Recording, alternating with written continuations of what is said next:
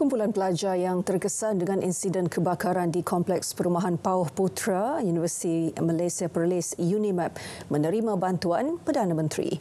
Datuk Seri Anwar menerusi catatan di media sosial memaklumkan sumbangan disampaikan setiausaha politiknya Muhammad Kamil Abdul Munin.